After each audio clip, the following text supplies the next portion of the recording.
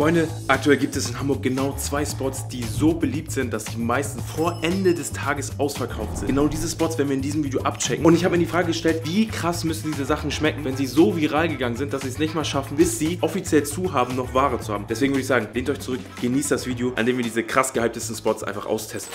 Und Freunde, wir fangen direkt an mit einem Spot, auf den ich mich extrem freue. Und zwar sind das diese viralen Pizza-Sandwiches. Vielleicht habt ihr das bei TikTok schon gesehen. Es ist Pizzateig, da kommt Olivenöl in die Mitte, dann wird es zugeklappt, in den Ofen geschoben und dann kommt so ein richtig geiler, fluffiger Teig raus. Der wird aufgeklappt und richtig geil belegt. Und somit hat man so ein richtig geiles und fluffiges Pizza-Sandwich-Erlebnis. Und genau das gibt es endlich in Hamburg. Und da fahren wir jetzt hin. So, Freunde, ich bin jetzt hier vor dem viralen Bolle-Restaurant. Also es ist schon heftig, wirklich heftig, wie viel hier los ist. Es ist jetzt gerade 12 Uhr 24. Dieser Container, dieser orangen Container im Hintergrund, der hat jetzt gerade seit 20 Minuten auf. Hier, ihr seht schon die Menge, die Leute stehen Schlange. Wir mussten auch schon Schlange stehen. Ich glaube, wir warten jetzt locker auch so 15, 20 Minuten. Obwohl man dort nicht sitzen kann, also quasi nur Takeaway. Es gibt so ein paar, paar Außenstühle so quasi, um zu essen. Aber eigentlich kannst du hier nicht richtig sitzen und es ist trotzdem so viel los. Das heißt, es muss eigentlich schon geil schmecken. Ne? Ich bin schon sehr gespannt, wie das äh, Ganze schmecken wird. Zwei Stück habe ich jetzt geholt, um das zu testen. Aber es ist krass. Also es hat schon übelsten Hype ausgelöst. Und was äh, auch auf jeden Fall dafür spricht, ist halt, die sind in Hamburg die einzigen. Ne? Also es gibt, glaube ich, kein anderes Restaurant, was diese viralen Pizza-Sandwiches anbietet. Ich glaube, Masé Masé macht es auch noch, aber nur als Special. Ich glaube nicht, dass es fest auf der Karte ist. Krass, aber anscheinend haben die das äh, durchgespielt, das Game. Deswegen freue ich mich extrem auf unser Sandwich. So, Freunde, das Pastrami-Sandwich für 15 Euro, ne? Ich bin ehrlich, auf den ersten Blick, das sieht mir nicht nach 15 Euro aus. Es ist halt wie so eine zusammengeklappte Pizza als Sandwich, aber es sieht ultra fluffig aus. Ich habe schon Bock drauf. Mhm. Es ist ja im Prinzip ein Pizzateig. Da kommt Olivenöl drauf in die Innenseite. Dann wird das zusammengeklappt und gebacken. Und nach dem Backen kannst du dadurch, dass da Olivenöl in der Mitte drin ist, es wieder aufklappen und dann halt belegen. Und ich habe jetzt hier Pastrami mit bisschen Krautsalat, Käse und das war's. Mhm. Mhm. Wenn man weiter in die Mitte kommt, schmeckt man mehr Belag. Der Teig ist an sich gut, schön fluffig. Und es hat, obwohl es ein Pizzateig ist, schon so Sandwich-Charakter. Ne? Aber es wird nur, je weiter man in die Mitte kommt, noch geiler. Ne? Ich habe jetzt hier nochmal die Version mit Pistazien und Mortadella. Mm, ist auch richtig lecker. Ich weiß nicht, ob ich hier komische Oliven habe, aber die haben hier einen komischen Geschmack. Pistazien mag ich nicht so gerne. Das? Ja. Das ist nicht so lecker wie Nee, das. ist nicht so geil, ne? Wir hätten so Pistazien-Pesto machen können. Ja, ja. Pistazienpesto hätte da reingemusst, ne? Hier bei Pastrami ist es geil, dass es so saftig ist. Mhm. Mhm. Holt euch Pastrami, wenn ihr hier seid, weil unten ist noch Cheddar drauf. Und je weiter ihr in die Mitte vom Sandwich kommt, desto geiler wird es. Also, Fazit. Es ist keine 10, es ist keine 9, es ist vielleicht eine 8,3. Das ist schon nice, aber ich weiß nicht. Also, so, ich habe jetzt hier für zwei Sandwiches fast 30 Euro bezahlt. Das ist schon ein bisschen zu viel, finde ich. Da müssen wir noch was machen. Also, gerechtfertigter Preis für so ein Sandwich wären so 11 Euro muss ich sagen. Kann auch sein, dass Pastrami, weil es so teuer ist, ne? Pastrami hat jetzt 15 Euro gekostet, das andere hat 12 gekostet. Trotzdem 8,3. Also es ist eine coole Idee, es ist geil, es schmeckt auch geil, es ist mal was komplett anderes, aber ein bisschen zu teuer. Schreibt mal in die Kommentare, ob ihr, falls ihr aus Hamburg kommt, das schon mal gegessen habt. Und wenn ja, ob ihr da wieder hingehen würdet. Also ich würde definitiv nochmal hinkommen, weil es mir schon eigentlich ziemlich gut schmeckt. Mhm. Allerdings müsst ihr auf jeden Fall Wartezeit mitbringen, weil wir sind direkt gekommen, als es aufgemacht hat und wir mussten trotzdem eine halbe Stunde warten, weil so viele Leute da waren. Aber es ist mal nice, was anderes zu sehen, auch in Hamburg. Und ich finde es auch geil, dass Hamburg mal mit etwas die Ersten sind oder mit die Ersten. Also ich glaube, in Berlin und Köln gibt es das schon, aber ansonsten kommen so geile Trends immer, immer, immer als Letzte nach Hamburg. Ich würde sagen, wir essen jetzt auf und dann geht's weiter. Und Freunde, ich glaube, über Prepper Meal muss ich euch nicht viel Neues sagen. Es ist eine super geile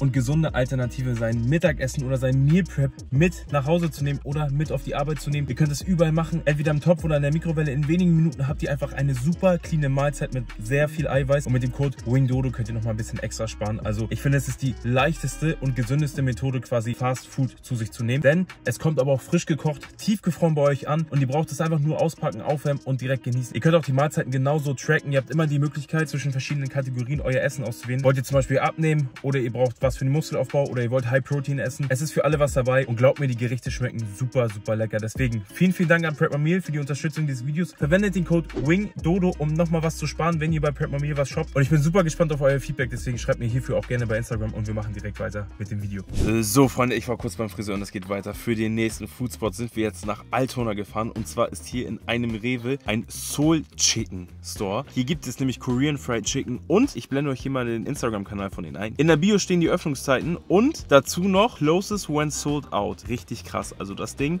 hat genau so wie der Spot davor nur so lange auf, wie sie auch Ware für den Tag haben. Also das heißt, hier muss ein geisteskranker Hype herrschen. Deswegen würde ich sagen, wir gehen rein. Ich habe auch übelst Hunger auch übelst Bock auf Korean Fried Chicken mit neuer Fliese.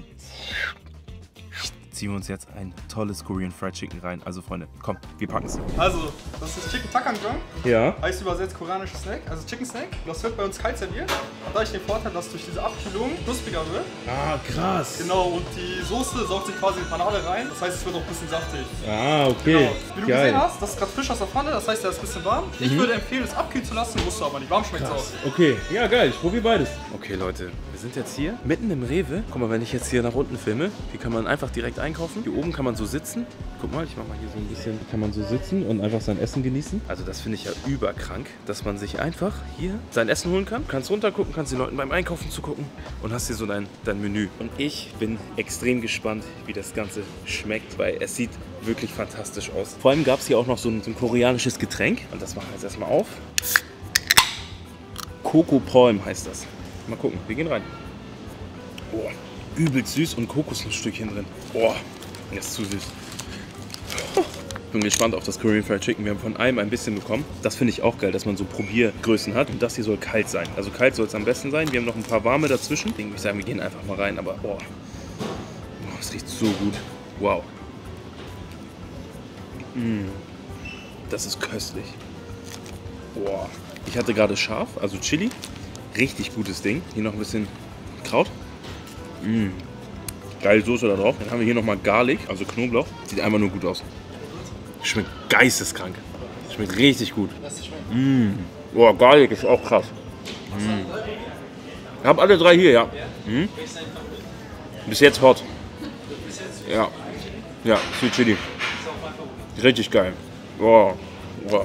Leute, was für eine geile Kombination. Wir haben hier warmen Reis, dann hier so ein richtig geiles, gewürztes, paniertes Korean Fried Chicken, was kalt ist, damit es noch knuspriger ist. Allem da merkt man wieder, dass es einfach durchgedacht. Man lässt es bewusst abkühlen, damit es knuspriger ist und dann serviert man warmen Reis dazu, damit die Speise nicht kalt ist. Das ist Pfeifett. Mmh. Oh, krass. Komme ich nicht drauf klar. Das ist richtig, richtig gut. Also, ihr müsst euch mal reinziehen, was man hier für 12,50 Euro bekommt. Ich habe jetzt hier M genommen, also Medium. Wird man locker satt von. Übelst viel Chicken, Reis, genau das, was man will. Boah, es ist köstlich. Und diese Kombination auch mit dem Kohl, die ist es einfach. Mhm. Für mich wirklich straight eine 9 von 10. Und was ich auch geil finde, es gibt ja viel Korean Fried Chicken, was sonst auch so übelst essiglastig ist. Ne? Zum Beispiel in UK haben wir auch mal Korean Fried Chicken getestet. Es hat so krass nach Essig gerochen und geschmeckt, dass ich es nicht essen konnte. Und ich mag Korean Fried Chicken, wo kein Essig dran ist, weil das, das schmeckt einfach besser. Beziehungsweise nicht so viel. Und das hier ist, das ist richtig geil. Da würde ich niemals drauf kommen, mich hier hinzusetzen in einem Rewe. Also Platz 1, auf jeden Fall Hot, Platz 2 Garlic und Platz 3 ist, glaube ich, so dieses Sweet and Chili.